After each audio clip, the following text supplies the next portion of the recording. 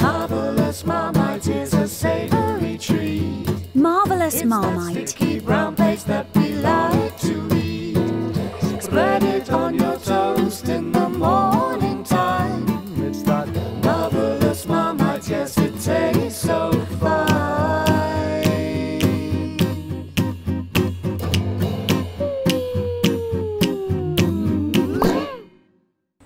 Everybody, hello children, welcome to this online field trip. Now for today's lesson, we've come to somewhere very special indeed. In fact, it's a place where they make one of the nation's most favourite foods, Marvellous Marmite.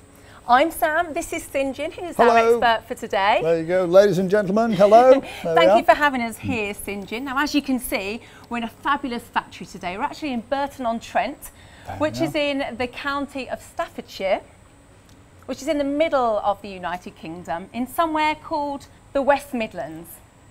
Give us a wave and a cheer in your classrooms, children, if you're having a, a good time and if you're looking forward to looking around this factory and learning all about Marvellous Marmite. Around the fence.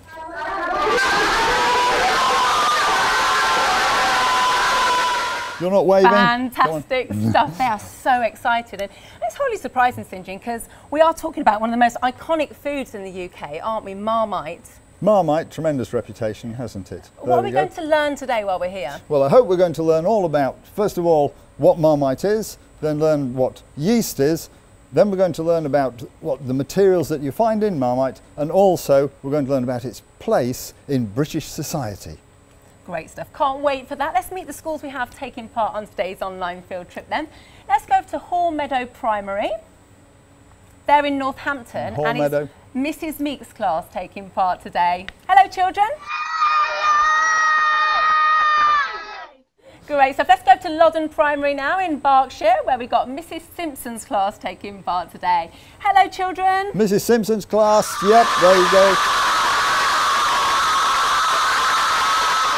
And let's go over to Oakdean Primary now in Durham, where we have Miss Bestwick's class taking part. Hello, children. And finally, let's go to All Saints Primary now. They're in Glamorgan, and it's Miss Webb's class taking part today. Hello, Glamorgan. There we are.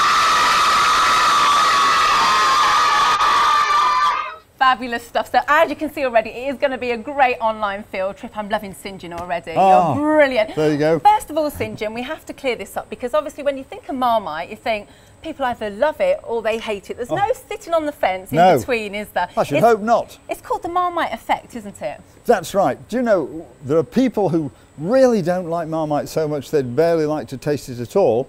We've got people who work here who don't like Marmite. We've got people who taste Marmite who don't like it. Imagine that. You have to taste it and you think that tastes just as awful as I thought it was last time. That's perfectly good Marmite. Which is an amazing situation. there you go. They're in the wrong job, aren't they? Really, well- having to taste Marmite oh, every Oh, day. no, no, oh, they get paid. That's Oh, the whole that's thing. right. There you that's go. okay. I love Marmite, so I can't wait to learn about it. So first of all, whereabouts are we, Sinjin? Now we're standing in a, a great room where we store what's called yeast extract, which is just one step before we create Marmite. Now each one of these containers that you can see behind me and all around us, they hold about one point to just over a ton, just over a ton of this yeast extract paste. And we're going to blend those together and make that into Marmite. Now some of them are full, some of them are empty. Now Ah. Sam, just put it down there and show them which the full ones and an empty one. Okay, How do you tell them apart? the test. That's the Ow. full one. Oh, that hurt. oh! there's an- like a drum. It's like a big bass drum. Yeah, there we Great. go. So that one's obviously empty. So that's it. We can tell just as simply as that. So, Sinjin, what is Marmite? Marmite is a yeast extract with various other materials added to it. As you know, it's got the characteristic flavour and it's a very, very concentrated food. And it comes from the brewing process. So, does it mean that it has either beer or alcohol in it? No, there's, there's no alcohol in the yeast it's, in the yeast extract itself. When the beer, when the yeast comes from the brewery, it does contain alcohol, but we lose the alcohol in a step called evaporation, where the, where the alcohol is just taken out, but we don't throw it away. What we can do is we can burn it in our boilers. So a lot of the energy that we would uh, have to obtain from other sources, we can actually make from burning the alcohol that comes in with the yeast. Fantastic stuff. Well, we are learning so much already, children, but I know that many of you already know a lot about yeast and Marmite because you've been on our website using all the great resources that we have on there to learn about it. So I'd like to put that to the test. Let's go over What to you know? Hall Meadow Primary now and find out um, what Mrs Meeks' class has already learned. Some spices in Marmite come from tree bark. That's a really good fact. Is this true, uh, St John? Uh, some of the spices in Marmite come from tree bark. Some of the tricins bark might come from tree bark. That's a very, very good attempt to find out what we put into Marmite. I'm not, I'm not going to comment on that at all. Oh, see, St John's talking about this secret recipe that they put in that I've been trying to get all morning and he won't let me know. So Oh. maybe it's tree Maybe bark, later maybe on, they maybe know the Yes, secret there you go. recipe. Really, really great fat children. Let's go to Loddon Primary now. Marmite is a French word for cooking pot in English. Oh, okay. So is Marmite the French word for cooking pot in English? That's right. Is that right, St John? Marmite. And, Marmite. this- and if you look on the jar there, you are. Look, there's there's a marmite on the jar. That's quite correct. Magnificent. Are you impressed with those I am. facts? Un peu en français, naturellement, c'est formidable. Ah, there you go. c'est bon. yeah.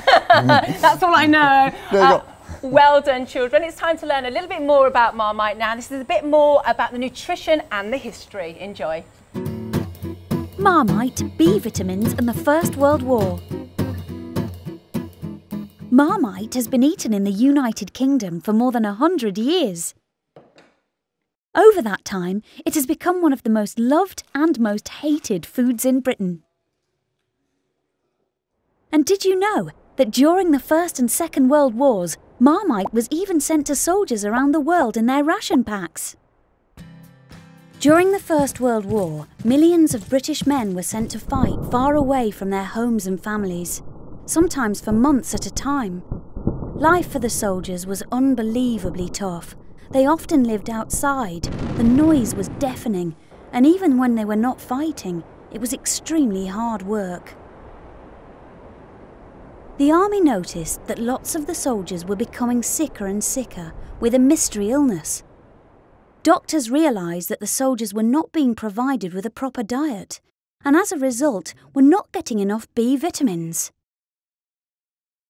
Vitamins are essential to a healthy human body, and our bodies can't store most B vitamins. So we need to get them from our diet. All the B vitamins work well together to support our health. In order to quickly boost the soldiers' intake of B vitamins, especially vitamin B1, the army ordered that Marmite be added to the soldiers' rations because Marmite contains B vitamins and is in fact one of the only vegan sources of vitamin B12. B12 is important for our red blood cells to work properly. Do you know which other foods the soldiers could have eaten to get B vitamins?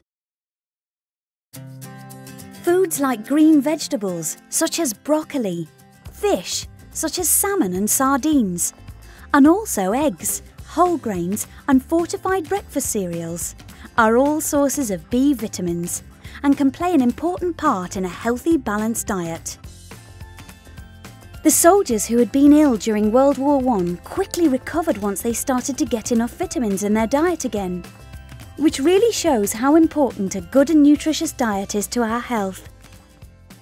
Today, we can benefit from the lessons that people in the past have learnt about nutrition and make lots of fresh and healthy choices. Eating a wide variety of nutritious foods helps us to stay fit and healthy, meaning we can feel our best every day. Welcome back, children. Give us a wave and a cheer in your classrooms if you enjoyed the video.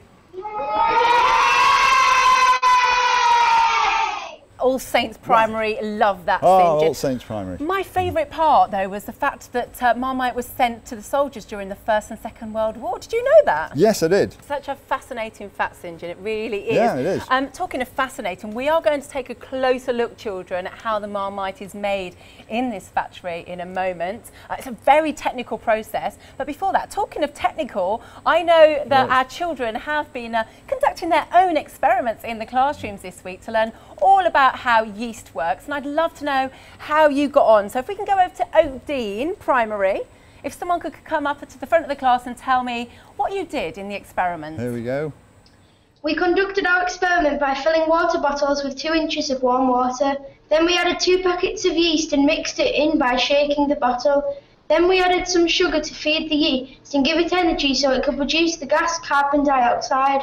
We put a balloon on the neck of the bottle and left it for four or five minutes. Then the balloon started to inflate and the yeast began to bubble and fizz. Unfortunately, we didn't see an explosion, but our balloons did get quite big. Such great work, children. That was so, so good, Oak Dean. So what they did, Sinjin, was they put some warm water in the bottom, bottom of the bottle, added some yeast, added some sugar, and then put a uh, balloon on top, and then gradually the balloon blew up. Not like we've done over there, for we example. have there children, you go, superb. yes. That's we, it. Oh, you don't, you don't get to have all the fun. We No, had some fun there you go, today, didn't that. we? Look, So there's these- ours. But in here then, that's not straightforwardly going to be air. That's got this gas that yeast produces. That's going to be carbon dioxide in there as well. And look at that. You can see through. You can see my hand there. Carbon dioxide is a colourless gas.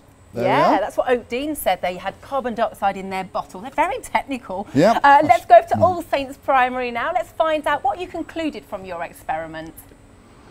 When yeast is mixed together with sugar, it has a chemical reaction which makes the balloon rise. Very, very clever. Both classes, or all the classes that did this, so they had a chemical reaction from putting all the different ingredients in the bottom of the bottle, and that's what made the balloon blow up. But don't forget, the chemical reaction is going on inside the yeast cells. And I'm afraid it's just the same like you and I. When we eat something, we turn whatever we eat into us. And that's the wonder of chemical reactions. There we go. Yeah, well done, children. So good with their experiments. Yeah, tremendous. Very, very good indeed. Very illustrative. Now we're learning lots about yeast, but how does yeast turn into marmite, St. Jim? Right, well look, we've got, here we are then, we've got, the, this is the yeast how we get it onto this site. And as you see, we receive it as a, as a sort of a thick, sloppy sludgy, liquid. That's right, like a sludge. Yeah. Comes onto the site in about 26 ton tankers like petrol tankers. Wow. We put it through a process called autolysis where we heat it and this is what comes out at the end of the process. Now this is a lot more liquid and if you notice we're starting to get it to, to settle out. What's happened is the food in the yeast, the um, materials in the yeast, it's all dissolved in the water whereas the cell walls, they don't dissolve at all. They are starting to fall away from it. In order to get rid of the cell walls, we put it through a centrifuge. Now that whizzes the material round and the cell walls are thrown out at the side, whereas the liquor stream carries on. And we finish up with this, and this is the liquor stream. This is called bright liquor. Also, we need to wash the cell walls to make sure we get every little bit of the um, protein and so on off them. And when we do that, the water goes in there, and that's very, very dilute no use at all for Marmite, I hope you'll agree. So we take this and put it through an evaporator. Now, when you walk into school on a rainy day, you'll find the roads very dark coloured. If you go and have some wonderful lessons, for example, with Mrs. Meeks or someone like that, tremendous lessons, and then at lunchtime you go outside and the whole place has dried. The water's evaporated just in the time you've been having your lessons. That's what happens here. We accelerate that, we drive off some of the water and finish up now with, look at this, this is much thicker. This is more like engine oil or something like that as opposed to this one, if you can see the difference there. Now, after that point, we polish it a little bit more, get it even smoother, and the way we do that is we actually force all of it. Now think about this, everything that's going to become Marmite has actually forced through a really, really thick cloth. And this is some of the cloth. Now you look at this, Sam. Wow, it That's- looks really thick. That's a cracker. Gosh, yeah, that's thicker than jeans. Exactly, it really is. It's amazingly thick stuff. That must be pushed really hard through there. Yep. I can't imagine anything getting through there. We, ha- we have really to thick children. we have to push up the push up the pressure just to get it through there. And once that comes through, is that marmite then, St. Jim? Ah, once it comes through there, there's, as you, as you understand, we got it, it's gone through there like that. And so there's still a bit of water left. We put it into another evaporator and all the solid material that's in there gets more and more concentrated. So the volume goes down, the, solid, the solids go up, and eventually it gets into a sticky paste that we call yeast extract, which we're surrounded by now. Ah, But then we have to blend it. And we're going to show you, we're going to go through now into the blending area where we show you what happens to one of these. great, exciting. There you go. Now, normally we'd have someone here called, say, Steve Newbold. He's one of our heroes. And he would haul one of these through and he'd bring it into this room here. Quiet in here, St. It There's not that very many quiet. people around. It's all There's- machines, isn't it? It's all it's all very automatic. And we can bring it smell Marmite everywhere I walk. I should hope so. it's making me feel hungry. Now the person who does it isn't personally strong enough, don't get the wrong idea, but he manages to get it from here using a hoist up there and he lifts it up so it's placed up here. And it's right above an enormous pump. And this pump drives the paste into the blending tanks. But, but now look at this, we've got a lot of connections to make in order for this to be sealed. If you get the slightest amount of air drawn in here, because don't forget this side of the pump is sucking and this side blows, so it'll, so it, it'll be sucking in air here, it'll get beaten in and then the paste will go very pale. Now I've beaten some air into some Marmite paste and we've got some here to show you. Now just look at that. That's straightforward Marmite paste and this is what happens if you simply beat in air like that. wow. It goes very, very pale. Would it taste the same, St. John? It tastes just about the same, yes. It I'm just not doesn't look like just got Marmite air. No, though, it does doesn't. it? And the strange thing about it is that uh, because we've beaten in air, you've got loads and loads and loads and loads of bubbles in there, so the volume's gone up. This Marmite here will sink if you drop it in water. This Marmite here floats if you get it really, really pale. Great. A worthwhile thing to watch. So Well, there we are. I have a really good idea because the children were so good with their balloon experiments. How about children, because I know you have Marmite in all your classrooms, giving this a go. So after today's online field trip, put your white coats back on, or your blue coats, um, and give this a go. So beat up some of the Marmite and see if you can see it changing colour like this. And if you've got a microscope, just a thin film under the microscope, and you'll actually see the bubbles in there. You can prove to yourself that I'm not a liar. Okay? there we are. So, St. John, once this process is done, is that Marmite as we know and love it? Well, at that point, we add secret ingredients. Now, up to now, I've not revealed a single secret ingredient to you, and I'm not going to now either. We just add secret ingredients, Oh, blend it together, and then it becomes Marmite, and almost straight away, we're able to put it into the jars, and that happens just over there. There I we can't believe go. you're not going to tell us. I thought we were friends. Oh, we are friends. That's, of course, we're friends. We- We supply you Marmite, don't we? Oh, Crikey. of course, yes, of course. of yeah, there we are. Okay, children, time to take a look at this process in more detail now. Yep. Here's a short video all about how yeast is turned into Marmite. How does yeast become marmite? Have you ever wondered what marmite is? Would you be surprised to learn that it's mostly made of something called yeast? Yeast looks like this. It's a very clever fungus that we use to make different products, including bread and marmite. Yeast is a single cell organism, meaning it is made of only one cell, unlike your body, which is a multi-cell organism made up of millions and millions of different cells.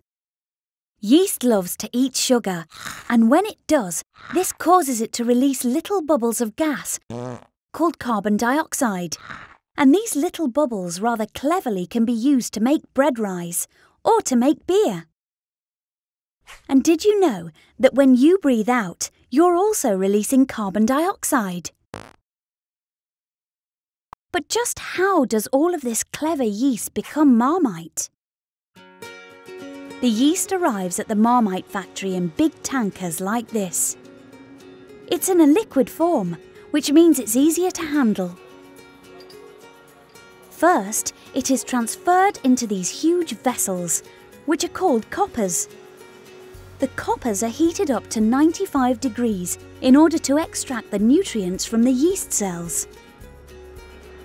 Next, the hot liquid yeast is passed through a sieve to remove the solids. The solids, which aren't needed, are collected in this bin. The liquid then passes through a series of centrifuges. A centrifuge is a machine that whizzes the liquid round and round incredibly fast. This very fast machine separates the nutritious liquor from the yeast cell walls. Next, it is passed through an evaporator. This machine heats up the liquor and the heated water turns to steam.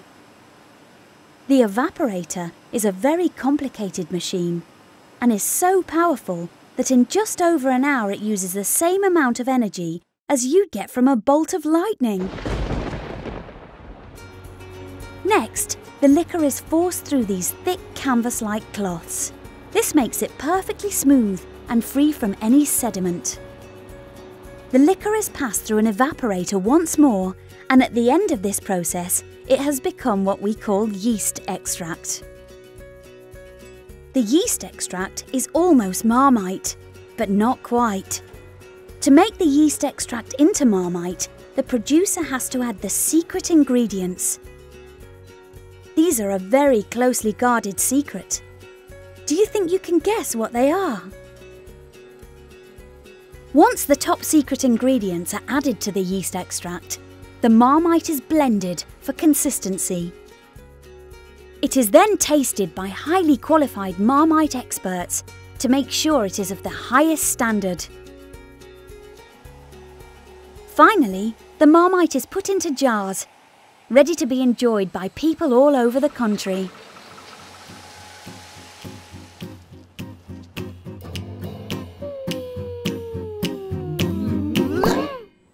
Welcome back, children. We hope you enjoyed that. Give us a wave and a cheer in your classrooms if you did.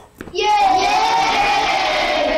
Oh, they, they enjoyed it. So Good. it looks, St. John, like we have to thank um, some very clever scientists for the invention of Marmite. Yes, big names. For a kick-off, the, there's Louis Pasteur, who established that yeast was a living thing. People just thought you, it's a peculiar material that you put into um, what we call wort to make beer, but he worked out that it was actually a living organism.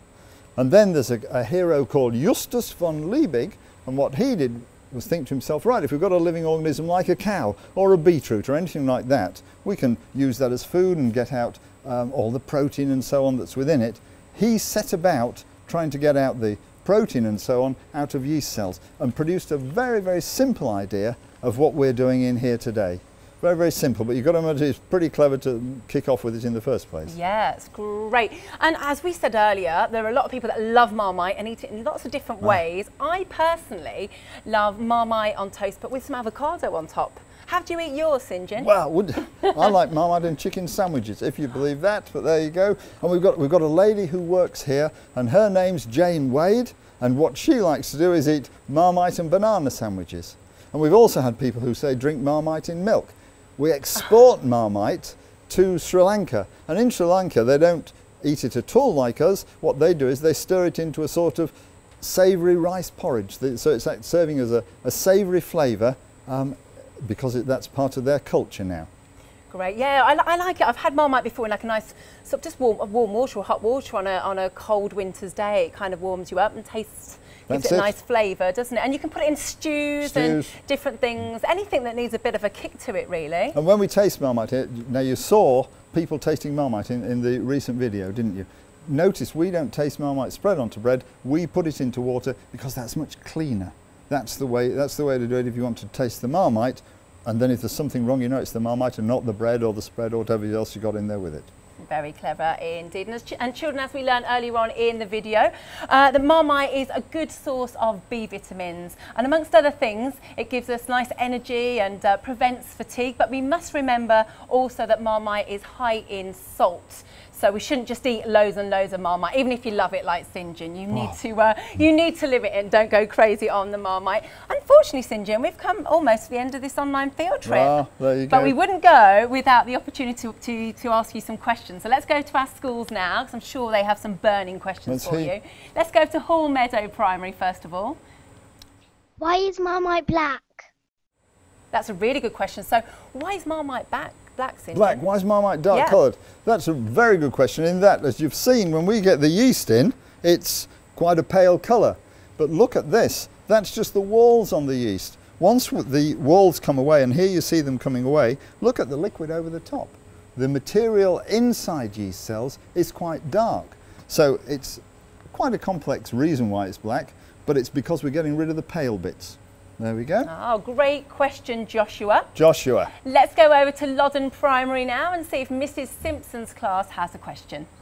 What makes Marmite so high in vitamin B?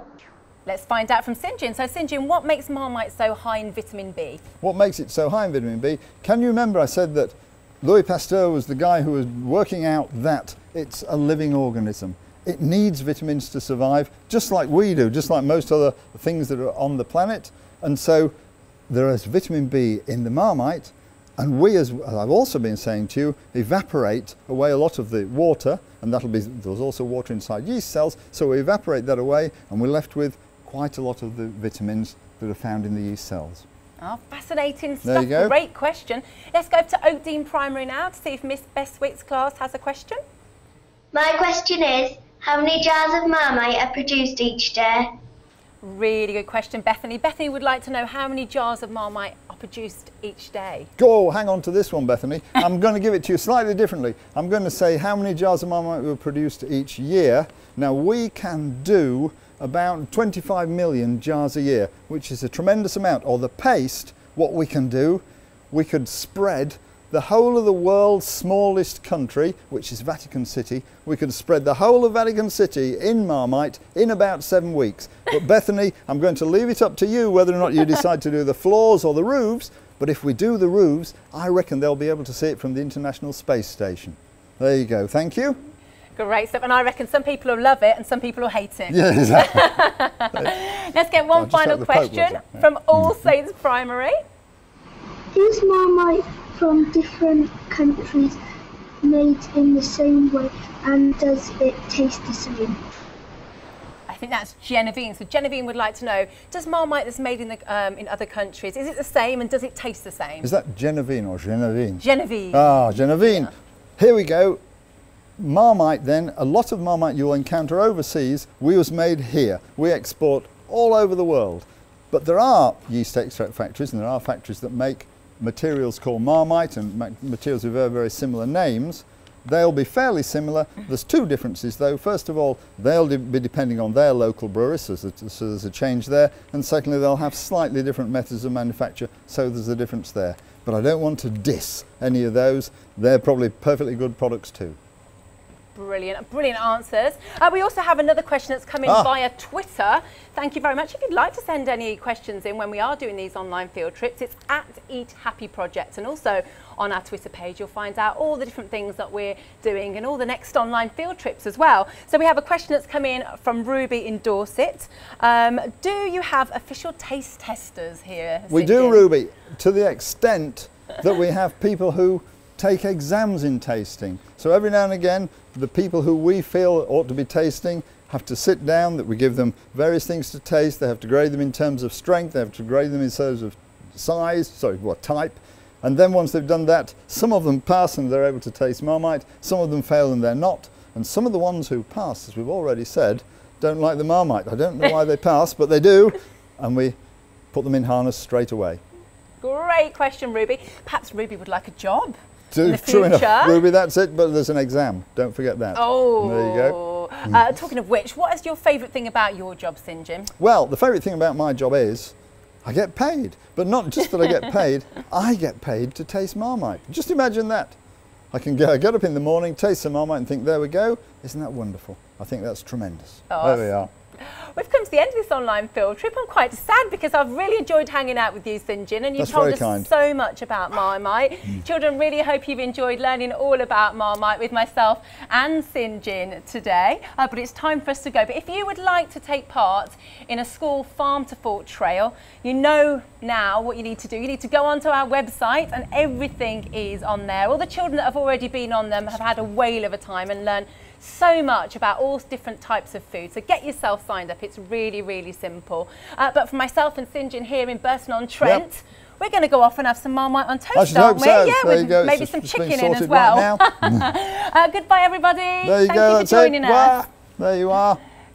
Goodbye, Hall Meadow. Hall Meadow, right on. Goodbye, Loddon Primary. Loddon, there you go.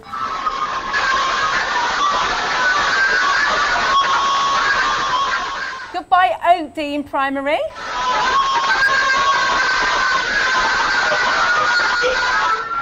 And finally, goodbye, All Saints Primary.